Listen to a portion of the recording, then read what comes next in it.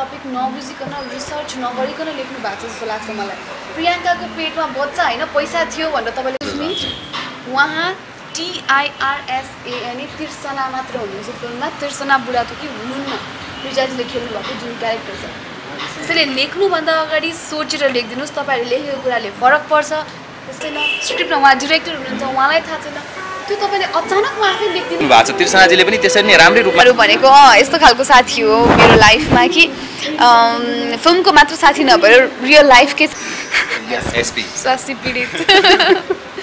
प्रियङ्काजी यसमा प्रेग्नेन्ट हुनुहुन्छ बुद्धिजी हस्पिटललाई होइन मैले उहाँलाई खुसुक्क तपाईँ यस्तो भनिदिनुहोस् मिडियामा नत्र।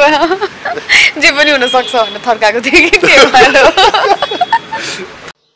Subscribe to the channel and turn on the notification bell so you never miss an update. नमस्कार दर्शकवृन्द तपाईँ आफ्नो स्मार्ट मोबाइल सेटमा स्मार्ट कम्प्युटर सेटमा अनि स्मार्ट टेलिभिजन सेटमा हाम्रो च्यानल स्मार्ट टिभी हेरेर बस्नुहुने दर्शकलाई म प्रकाश विष्ट स्वागत गर्दछु आज हामीसँग हुनुहुन्छ हरेक नेपाली र नेपाली भाषीको मन र मस्तिष्कमा बस्न सफल नायिका र नयाँ साल दुई हजार पचहत्तर साल वैशाख चौध गते देशभर प्रदर्शनमा आउन लागेको चलचित्र कोहलपुर एक्सप्रेसका निर्देशक। आउनु स्वागत गरौँ के के अधिकारी अनि Vishal भण्डारीलाई। Thank you so much thank you thank you सन्चै छु फर्स्टमा त म सरी भन्न चाहन्छु धेरै बेर कुराउन पुगेँ है त्यस्तै पर्यो आजको दिन। तर पनि धैर्य धारण गरेर बस्दिनु भयो त्यसको लागि धन्यवाद। अब मुभी पन्ध्र चौध गते आउँदैछ है। चौध गते धेरै कामहरू होला कतिको व्यस्तता कतिको बढेको छ? अहिले त दिन रात खालि कोहलपुर एक्सप्रेस कोहलपुर एक्सप्रेस। अब कसरी प्रडक्ट राम्रो बनिसकेको छ अब यसलाई कसरी दर्शक समक्ष पुर्याउने होइन? राम्रो बनाएर मात्र हुँदैन। यसको बारेमा जानकार पनि गराउनु पर्यो। सो केही एउटा कसरत पनि न नछोडौँ होइन? भविष्यमा जे होला होला। चलचित्रले जस्तोसुकै बक्स अफिस बिजनेस गरोस् तर हाम्रो तर्फबाट गर्नुपर्ने मेहनत चाहिँ हामी नछोडौँ भन्ने हिसाबमा लागि परेको छ मैले। प्रोडक्ट फाइनल भइसक्यो। त्यही विभिन्न कामहरू छ जुन चाहिँ प्यारलली भइरहेको छ। त्यसले गर्दाखेरि नै हो आज तपाईँहरूलाई अलिकति पुऱ्याउनु पऱ्यो मैले होइन। राम्रोसँग अगाडि बढिरहेछ र त्यसलाई अझै राम्रो गरौँ त्यसलाई अझै सार्प गरौँ। अनि हुन्छ नि दर्शकको अगाडि लिएर आउँदाखेरि चाहिँ एउटा पर्फेक्ट प्याकेज लिएर आउँ भनेर लागिरहेछ मैले। समग्रमा कस्तो खालको चलचित्र हो? स्टोरी पनि तपाईँको निर्देशन पनि। यो यो फिल्म चाहिँ यो यो हास्य रसमा आधारित भयो। यसबाट हामीले हँसाउने मात्रै प्रयास गरेका छौँ विशेष गरी। अब हामीले यो पटक यो सिनेमाबाट केकीको first film as a producer मेरो first film as a director यदि हामीले यो पटक दर्शकलाई हामीले भनेको जस्तो सोचेको जस्तो गरी हँसाउन सकियो भने नै हाम्रो सबैभन्दा ठुलो सफलता हुन्छ। त्यही त्यही सोचमा रहेर हामीले यो सिनेमा बनाएको छौँ। रमाइलो फिल्म छ। हामी दुई घन्टा तपाईँहरूलाई मजाले हँसाउनको लागि यति प्रयास गरिरहेका छौँ। अहिलेसम्म पनि त्यसकै लागि दौडिरहेका छौँ र उहाँहरूले विभिन्न किसिमको क्यारेक्टर गर्नुभएको छ। उहाँले कान नसुन्नेको क्यारेक्टर गर्नुभएको छ। विनोदजी हुनुहुन्छ जो बोल्न सक्नुहुन्न। र हाम्रो प्रियङ्काजी यसमा प्रेग्नेन्ट हुनुहुन्छ। बुद्धिजी हस्पिटलाइज हुनुहुन्छ। रविन दाईको आफ्नो एउटा टेन्सन छ। सुजन कार्की नाम गरेको एकजना कलाकार हुनुहुन्छ। उहाँको अनुहारभरिपट्टि लागेको छ। यो यो सबै चिज चाहिँ हामीले दर्शकहरूको मुहारमा अलिकति मुस्कान आओस् भनेर एकदमै प्रयास गरेका छौँ। रमाइलो सिनेमा बनेको छ आशा छ रमाइलो मान्नुहुनेछ तपाईँहरूले। सुरुमा अलिकति नायिका भनेर मात्र जोडेँ। तपाईँलाई एउटा मात्रै विशेषण नायिका अथवा प्रड्युसर जोड राख्नु पऱ्यो भने कुन चाहिँ राख्न चाहनु? होइन सर्वप्रथम त म कलाकार नै हो होइन? त्यसमा त कुनै पनि शङ्का भएन। मनभित्र जति बेला पनि एज एन एक्टर नै आफूलाई प्रस्तुत हुन र यो मेरो चिनारी पनि हो। आज मलाई त्यही कारण नै दर्शकहरूले यति माया साथ दिनुभएको छ र त्यही कारण नै आज मैले फिल्म निर्माणमा पनि हात हाल्न सक्षम भएको कारण नै त्यति मात्रै हो।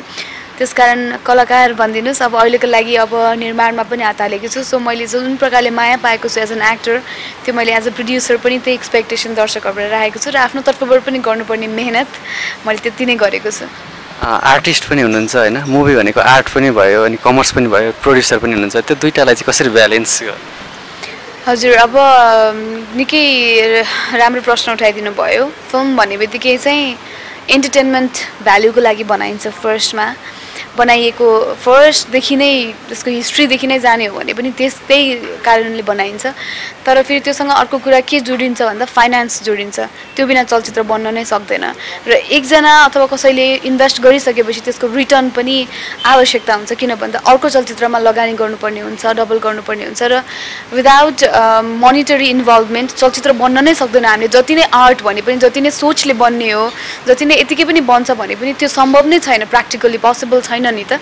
सो त्यो चिजलाई चाहिँ हामीले एक्सेप्ट गर्नुपर्छ र चलचित्र बिजनेसका हिसाबले हिसाबले पनि राम्रो हुनुपर्छ इन्टरटेनमेन्टको भ्याल्यु पनि त्यसमा भरपुर हुनुपर्छ र त्यसले दर्शकलाई सेटिस्फाई पनि गर्नुपर्छ सक्दो। कलपुर एक्सप्रेसले कस्तो आशा गर्नुभएको छ बिजनेसमा चाहिँ?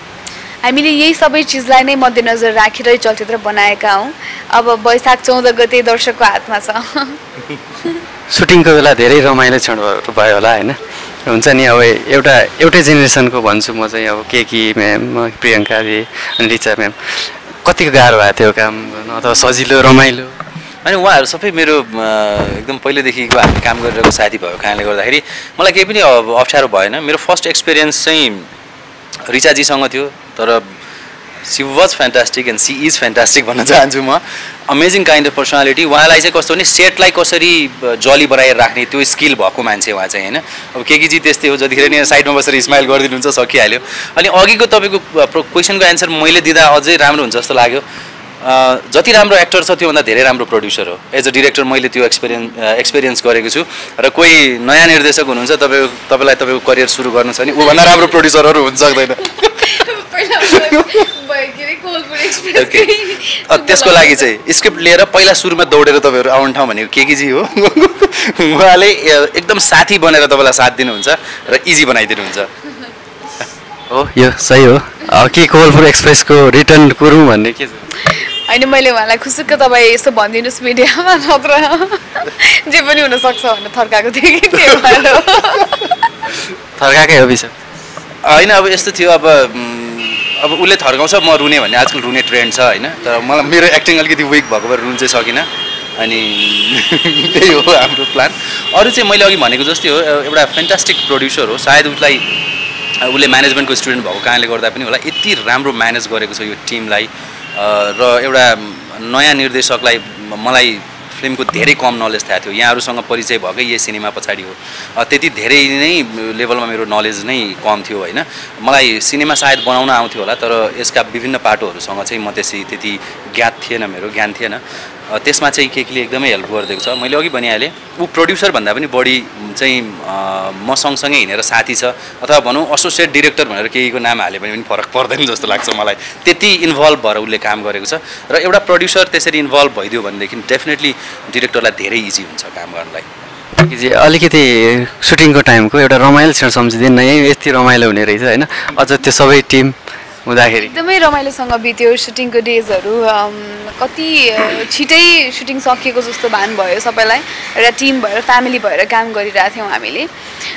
सबैभन्दा रमाइलो ट्यान भन्नुपर्दा त आई थिङ्क अहिले जुन भाइरल भइरहेको प्र्याङ्क छ त्यो नै मेजर फन थियो किन भन्दा उहाँलाई जहिले पनि हाँसिरहेको मात्र देखिरहेको होइन। कहिले पनि टेन्सनै नलिने यो कस्तो मान्छे होला त?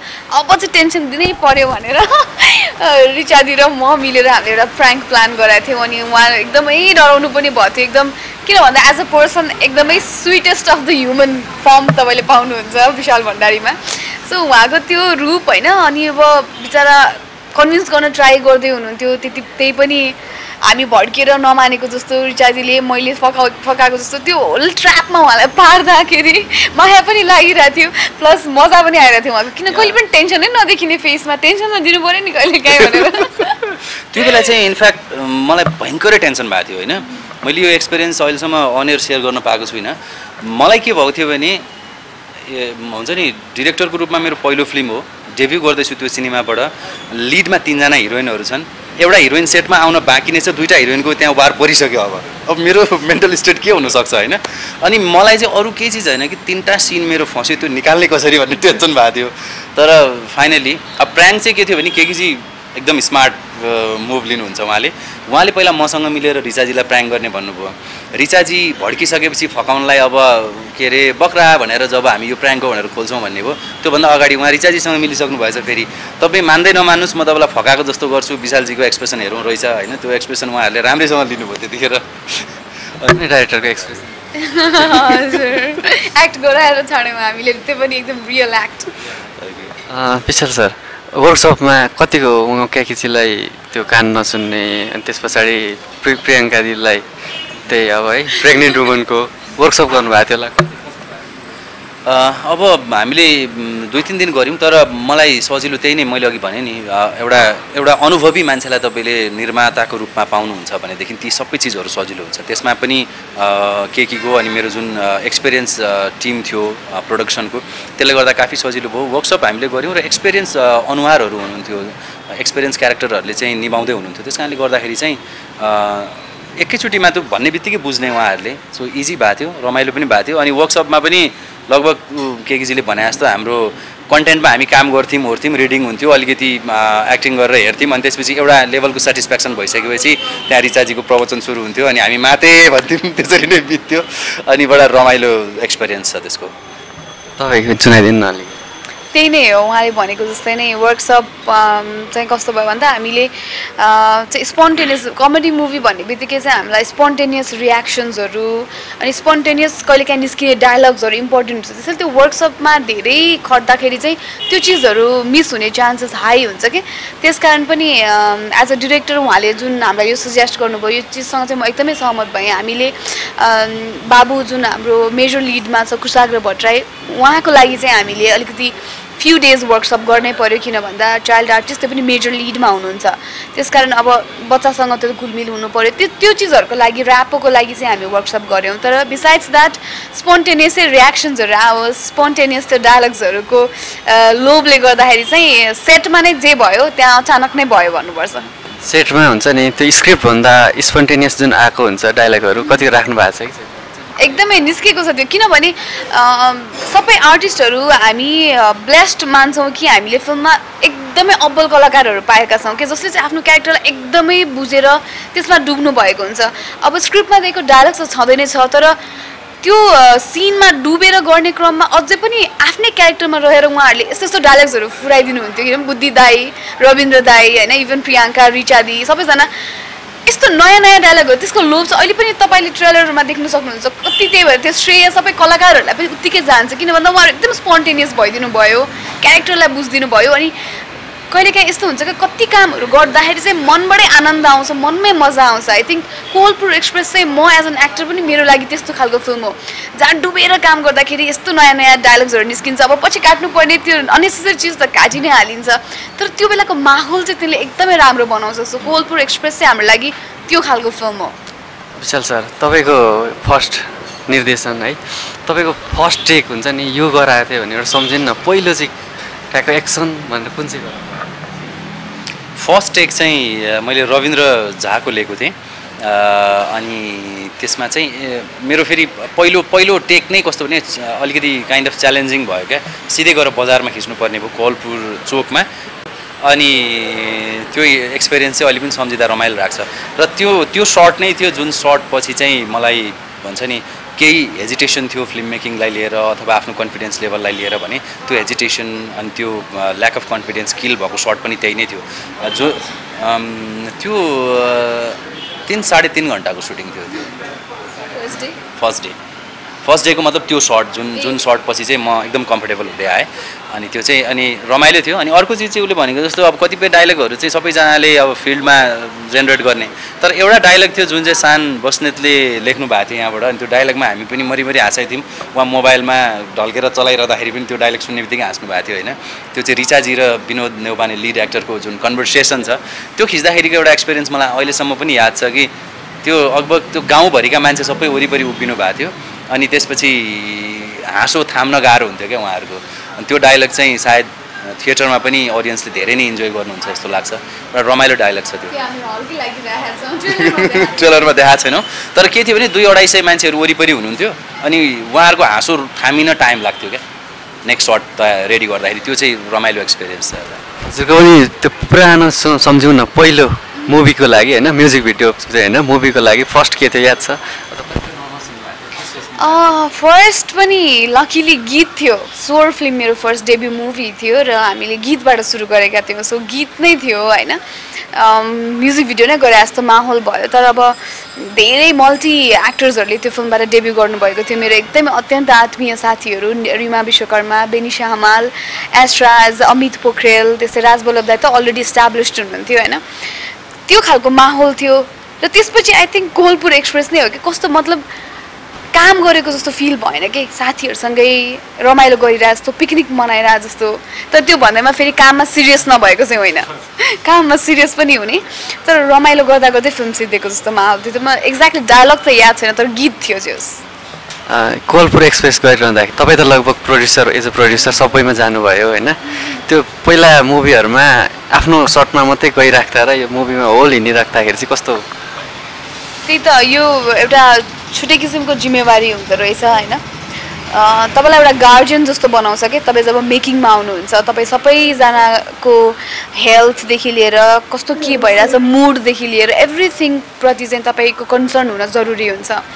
जस्तो मेरो लागि त्यहाँ भनेको होल फ्यामिली र म चाहिँ एउटा गार्जियनको हिसाबले सबैजना आफ्नो काममा बिजी भइराख्दा पनि कसलाई के चाहिरहेको छ कसको आवश्यकता के छ सन्चो बिसन्चो के छ एक दिन अगाडि कसैलाई केही एक्ट भएको थियो त्यो निको भयो कि भएन यो तमाम चिजहरूको जिम्मा फाइनेन्सियल म्यानेजमेन्ट त आफ्नो ठाउँमा छँदैछ कि? त्यो मेजर कन्सर्न भएन।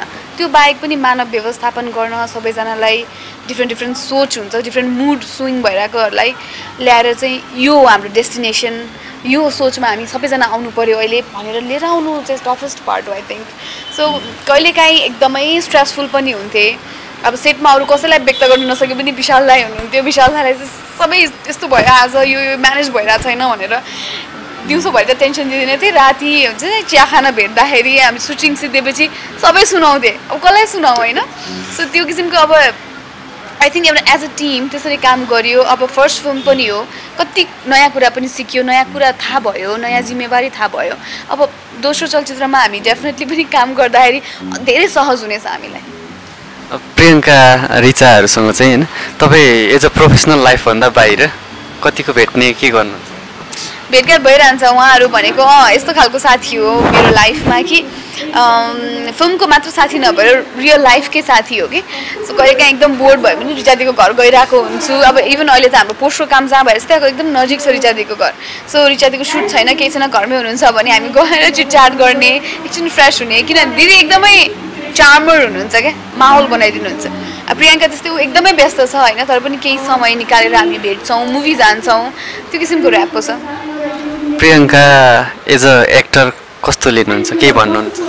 I think one of the most most hard working actor we have today in the industry भन्छु म किन भन्दाखेरि दिन रात केही नभनिकन काम गर्नुहुन्छ त्यो पनि टाइमको पङ्क्चुअलिटी उहाँको एकदम अनि आफूलाई वेल मेन्टेन गर्नुभएको छ। इट्स नट इजी एक त यो अवसर नै जिन्दगीमा कमले पाउँछन् होइन? र अवसरलाई सही तरिकाले युटिलाइज गर्ने व्यक्ति आई थिङ्क त्यसको सिनोनिम भनेकै प्रियङ्का कार्की हो मेरो लागि यो इन्डस्ट्रीमा यति हार्ड वर्किङ देखाएको छु मैले। Tries to give her best हुन्छ नि कहिले पनि त्यस्तो दिक्क मानेको त्यस्तो पाउँदिनँ म। प्रमोसनको लागि पनि अहिले हामीलाई टाइम दिइरहनु भएको छ। जब कि आफ्नै तिनवटा फिल्म उहाँको फ्लोरमा छ सो इट्स नट इजी तर पनि उहाँले मेन्टेन गर्नु भनेको त्यो कमै मान्छेले सक्छ संसारमा। रिचा शर्मा। रिचा दिदी इज फ्यान्टास्टिक एक्टर अघि विशाल दाई एज अ डिरेक्टर नै उहाँले पहिलाइसक्नु भएको छ होइन? यस्तो खालको स्पोन्टेनियस एक्टर कि हामीले यस्तो खालको क्यारेक्टर चाहेको भनेर आफ्नो सोचमा जस्तो गर्छौँ नि त्योभन्दा प्लस टेन दिन सक्ने खालको आर्टिस्ट हुनुहुन्छ क्या सो आई थिङ्क यो industry has to be I think very much like blessed पनि छ उहाँहरूलाई पाएर प्लस हामी थ्याङ्कफुल पनि हुनुपर्छ हामीसँग उहाँहरू जस्तो एक्टर्स हुनुहुन्छ क्या इन्डस्ट्रीमा विनोद नेउपाने चाहिँ कस्तो खालको कलाकार पाउनुभएको? ऊ विनोद देवपाने चाहिँ मेरो लागि अवसरबाट वञ्चित एउटा कलाकार हो। र उसले यो सिनेमामा योभन्दा अगाडि नै रिलिज भइसकेका सिनेमाहरूमा पनि उसले प्रुभ गरिसकेको छ र यसमा अझै एक लेभल माथि रहेर प्रुभ गरेको छ भन्नु पऱ्यो किनभने उसलाई एकदम डिफिकल्ट हामीले टास्क दिएका थियौँ। कहिलेकाहीँ त्यो चिजहरू हामी डिस्कस पनि गर्थ्यौँ है। त्यो हामीलाई भनेको जस्तो आएको छैन कि के हो कि भनेर सोच्थ्यौँ तर त्यो त्यो आर्टिस्ट यति आफ्नो काममा फोकस रहेछ कि अहिले फिल्म होल फिल्मभरि उसले आफ्नो पेज समातेको रहेछ। त्यो यतिखेर हामीलाई थाहा भयो र हामीले पोस्टमा त्यो फिल्म हेरिसकेर ट्रेलर हेरेर चर्चा पनि गऱ्यौँ के कि र मैले। कहिलेकाहीँ के लाग्छ भने विनोदको एउटा कमजोरी भन्ने कि अथवा स्ट्रङ पोइन्ट भन्ने? कहिलेकाहीँ त्यो स्ट्रङ पोइन्ट हुन्छ। ऊ एकदम मजाकिया छ।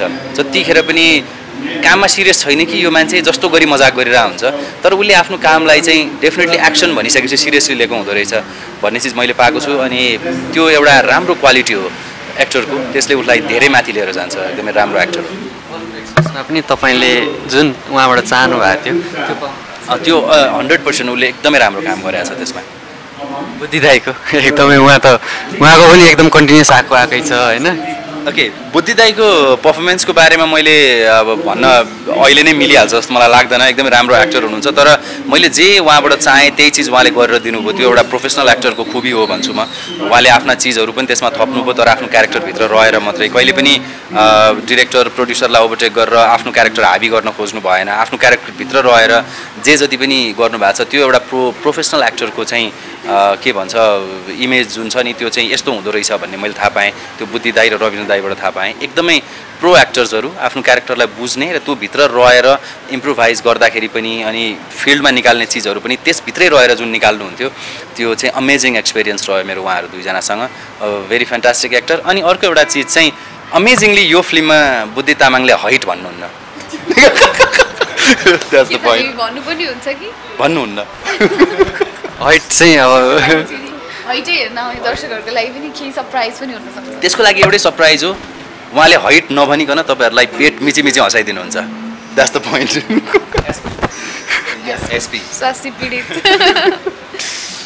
के- उहाँको आइडिया थियो। उहाँले देख्नु भएको जस्तो लाग्छ कि कोही स्वास्नी पीडितहरू वरिपरि। त्यही भएर यो एसपी टाइटल एन्ड स्वास्नी पीडितवाला पोइन्ट उहाँको।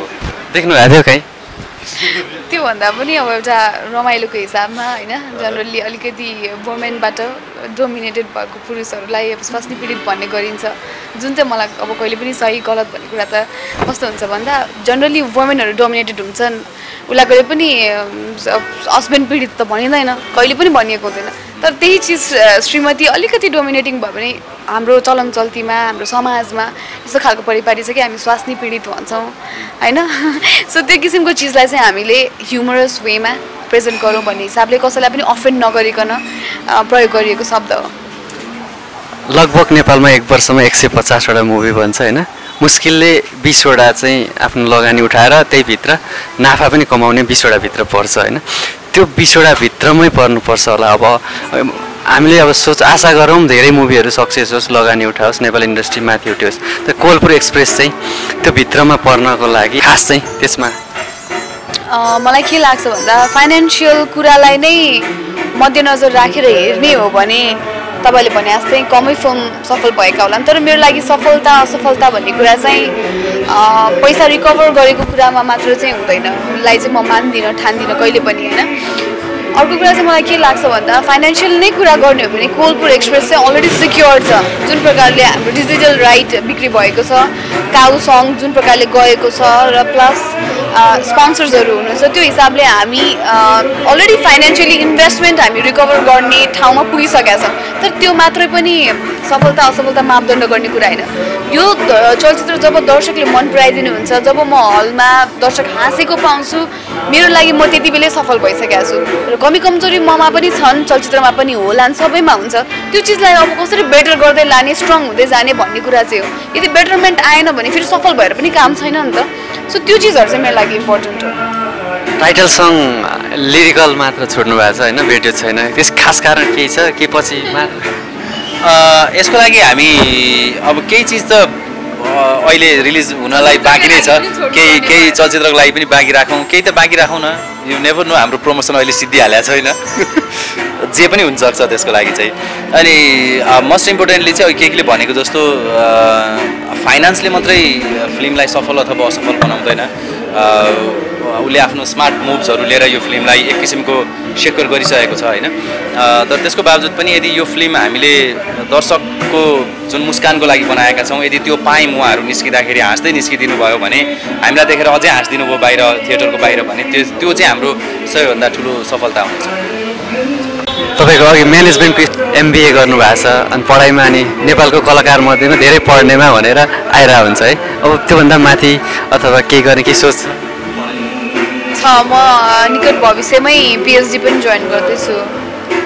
भनेपछि अझ डाक्टर के के अधिकारी भनेर हामीले लेख्न अथवा भन्न पाउनेछौँ। हजुर त्यसैको लागि मात्रै चाहिँ होइन तर अध्ययन गरिराख्न आई थिङ्क लाइफलाई डिसिप्लिन बनाउँछ त्यसले। अलिकति तपाईँ फोकस्ड पनि हुनुहुन्छ कुनै पनि चिजमा फोकस हुनको लागि पनि तपाईँलाई आवश्यक पर्छ कि? त्यसैले म चाहिँ के चाहन्छु भन्दा मेरो लाइफ अझै डिसिप्लिन्ड होस्। म अझै अध्ययनलाई चाहिँ अगाडि बढाउँ भन्ने सोच मात्रै हो। त्यसो डक्टरै बन्नको लागि अथवा नामकै लागि पिएचडी गर्न खोजेको छैन मेरो आफ्नै म आफ्नै डिसिप्लिन बनाउन चाहन्छु मेरो आफ्नो लाइफलाई।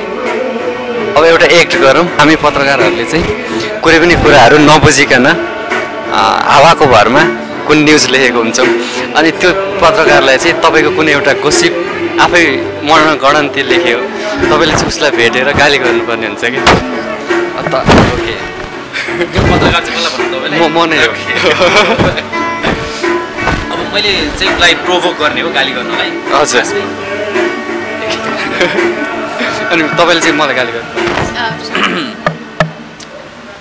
के के तिमीले अस्ति उहाँले लेखेको आर्टिकल हेऱ्यौ जसमा चाहिँ के भनेर भनिएको छ भने तपाईँले लेख्नु भयो तपाईँले हेर्नुहोस् तपाईँले त्यो टपिक नबुझिकन रिसर्च नगरिकन लेख्नु भएको छ जस्तो लाग्छ मलाई। प्रियङ्काको पेटमा बच्चा होइन पैसा थियो भनेर तपाईँले कसरी लेख्न सक्नुभयो? तपाईँले चलचित्र हेर्नुभयो? जुन कुरा हामीलाई थाहा छैन स्क्रिप्टमा उहाँ डिरेक्टर हुनुहुन्छ उहाँलाई थाहा छैन त्यो तपाईँले अचानक आफै लेखिदिनु भयो अनि दर्शकले त्यो चिज यति भ्युज छ।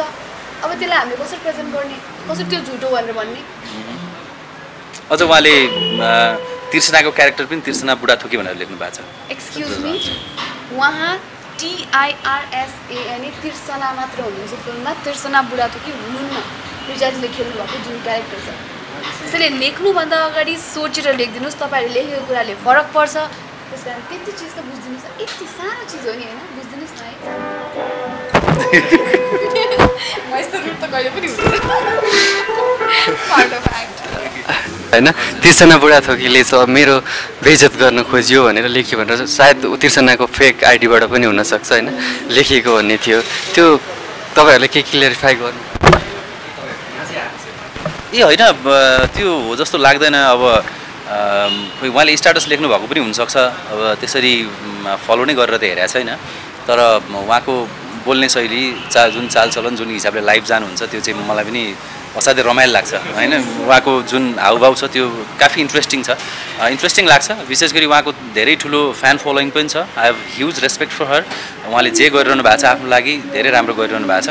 र कहिलेकाहीँ केही चिजहरू मन परेर पनि त्यसलाई हामीले उतार्ने प्रयास गर्छौँ। यो मन परेको भएर केही चिजहरू लिउँ न भनेर लिएको चिज हो। जुन मन पराएर उहाँले मलाई फेसबुकको इनबक्समा मलाई पर्सनली गरेको म्यासेजमा चाहिँ मन पराएर ट्रेलर सेयर गरेको छु है दाई भनेर पठाउनु भएको छ। सो यी सबै हल्लाहरू हुन् जस्तो लाग्छ मलाई। हल्ला रहेछ है म के क्ल्यारिफाई गर्न चाहन्छु भने हामीले जुन पात्र उठाएका छौँ ऊ तिर्सना हो फिल्ममा होइन? तिर्सना बुढाथोकी होइन। त्यसैले म उहाँलाई अथवा उहाँलाई उहाँको शुभचिन्तकहरूलाई कुनै पनि प्रकारको चोट पुर्याउन चाहन्न। उहाँको हाउभाउ उहाँले भन्नुभएको जस्तो एकदम इम्प्रेसिभ छ। एक घन्टासम्म लाइभ गएर बोर्ड नबनाउनु भनेको आई थिङ्क त्यो एउटा कम्प्लिट एन्टरटेनरले मात्र गर्न सक्छ। त्यो हामी त फिल्ममा गर्न सक्दैनौँ चुक्छौँ भनेदेखि उहाँले त्यो चिजहरू अचिभ गरिरहनु भएको छ। सो आई थिङ्क त्यो मास अफ जुन अडियन्स छ जसलाई उहाँले इन्टरटेन गरिरहनु भएको छ हामी उहाँलाई चोट पुऱ्याउन चाहँदैनौँ। र कुनै पनि त्यस्ता किसिमको चिज हामीले अफेन्ड गर्ने हिसाबले राखेका छैनौँ। तिर्सना फिल्ममा बारगलको रूपमा अथवा अरू कुनै क्यारेक्टरको रूपमा फिल्ममा छ उहाँको हाउभाउ हो। हामीले अध्ययन गरेर त्यो चिजलाई क्यारेक्टरमा राख्दा एन्टरटेनिङ हुन्छ कि? त्यो क्यारेक्टर भनेर ट्राई गरेका छौँ होइन? तर तिर्सना बुढा थोकी नै प्रेजेन्ट चाहिँ छैन। हजुर त्यो चाहिँ एकदमै टु बी फ्रेङ्क भन्दाखेरि त्यही नै हो जे के केले भन्यो। अनि अर्को चिज के हुन्छ भने बिइङ अ डिरेक्टर म चाहिँ जहिले पनि क्यारेक्टरलाई स्टडी गर्छु क्या। जस्तो के केले कहिले आफ्नो बारेमा नोटिस गरेको छ कि छैन तर उसको पनि एउटा पार्टिकुलर एउटा क्यारेक्टर छ। हामी यहाँ एकदम रमाइलो जोक गरेर बसिरहेको हुन्छौँ। ऊ उसको स्माइल एकदम मन्द मन्द मात्रै आइरहेको हुन्छ मात्रै गरिरहेको हुन्छ होइन? यति नै हो हाँस्ने। र त्यसपछि त्यो जोकहरूको बिचमा उसको जुन वान वर्ड जोक आउँछ नि एकदम फ्यान्टास्टिक छ। त्यो क्यारेक्टर मलाई एकदमै मन परेको छ। नेक्स्ट टाइम कुनै पनि बेला म आफ्नो सिनेमामा एउटा त्यस्तै किसिमको क्यारेक्टर बनाउन सक्छु किनभने त्यो मलाई मन परेको चिज हो।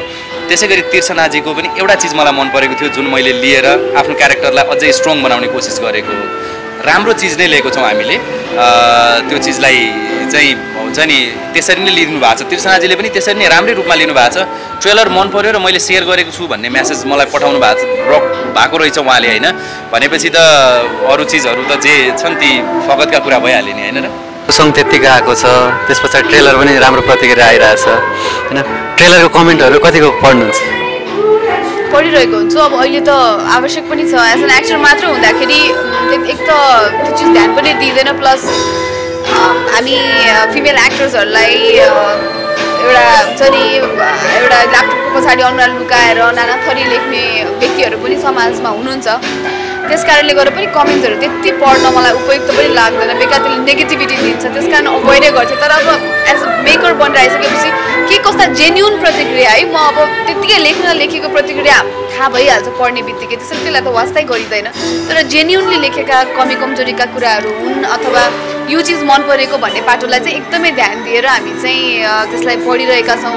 तृष्णाको क्यारेक्टरको रूपमा रिचा दिदीको क्यारेक्टरलाई एकदमै प्रशंसा गरिदिनु भएको छ। प्रियाङ्काको त्यो हरेक डायलग्सहरू अहिले म्युजिकलीमा होइन सबैजना फिमेल्सहरूले स्पेसली त्यसलाई डप गरेर कण्ठ गरेर एकदमै ओभरवेल्मिङ रेस्पोन्स दिनुभएको छ। अब यो चिज चाहिँ आई थिङ्क हाम्रो लागि एकदमै ठुलो कुरा हो। हामीलाई एकदम ऊर्जा थपिरहेछ। यसले अझै गर्न पुगेको छैन अझै प्रमोसनको कामहरू कसरी अगाडि बढाउँ दर्शकहरूलाई अझै कसरी मन जिताउँ भन्नेमा हामी अहिले केन्द्रित छौँ अब लास्टमा दर्शकहरूलाई के भन्न चाहनुहुन्छ?